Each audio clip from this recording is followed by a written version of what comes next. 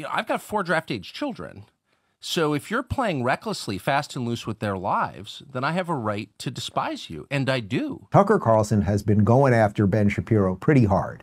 Uh, and claiming that Ben is is not pro-America and a whole bunch more. And I would connect this to what we're saying, which is that Tucker and Ben are not on the opposite side of things. I think. I think they both love America. I think they may have different policy issues, per- particularly when it comes to foreign policy, perhaps. Uh, but we need to make sure that the Tucker Carlsons and the Ben Shapiros are not in warring factions. Otherwise, all of those people who are on the way are going to be like, wow, look at these freaking people. Look at these freaking people. They can't even agree on anything. Uh, so I want, I am going to try very hard uh, for the next little while to, to settle this issue. So I want to show you a, a, video of Tucker Carlson. He's made remarks like this a couple times before, but I thought this was sort of the most direct and intense. Uh, Tucker Carlson on um, on Russell Brand's podcast uh, talking about uh, Ben Shapiro. Take a look. I would say two things. First, we have a right to be mad, at least, and let me just again speak for Americans, middle aged Americans, uh, which is what I am. You know, I've got four draft age children. So if you're playing recklessly, fast and loose with their lives, then I have a right to despise you, and I do. So if you're Nikki Haley, who's running for president, or Ben Shapiro, or half the people I see on television casually mentioning the possibility of nuclear war or sending Americans to fight in the Middle East, or in any way involving us in a war that has nothing to do with prosperity and peace at home, nothing, in other words, to do with us, Americans, then I have a right to call you out and be really offended because it's my family. They live here. It's not a joke to me. It's, there's nothing abstract about it. And that is the difference between what's happening in the Middle East from what's happening in Ukraine, about which I had very strong feelings, but I didn't think there was a realistic possibility that my kids could be enmeshed in it. Now there is. So I think, you know, get some self respect. I would say to my fellow Americans, get a clearer picture of what's important. Your children are important. Okay, that's number one, your children.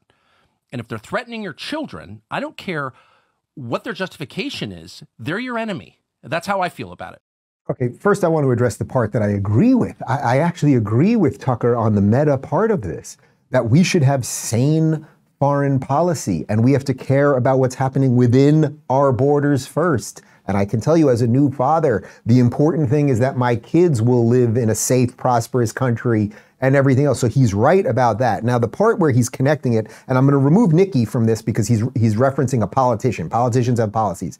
I have never once heard Ben call for troops in the Middle East. I have never heard once for Ben calling for nuclear war. So when he says, I have a, I, have a, I, I think he says, I have a right to despise you or something like that, uh, there is a fundamental difference between saying, oh, we would like to help an ally, because that's what this is really about. He's talking about Israel. We'd like to help an ally with the arms that it needs to stop a genocidal terrorist organization from causing a second Holocaust, versus we're sending troops there and everything else. I think he's being a little kind of sloppy with that, but I'm agreeing with the meta version what he's saying. And the reason I'm bringing this up is because I think that explanation that I just laid out there, that can be healed. And if we can heal that, then a whole bunch of people, all those people who I just mentioned who are kind of on their way, they're not going to be like, oh, these people are all crazy and look at them always trying to take themselves out. So anyway, I had Ben on the show last week, uh, and I asked him about that because I think it's important that we can uh, that we can defray some of this nonsense before it really lights on fire.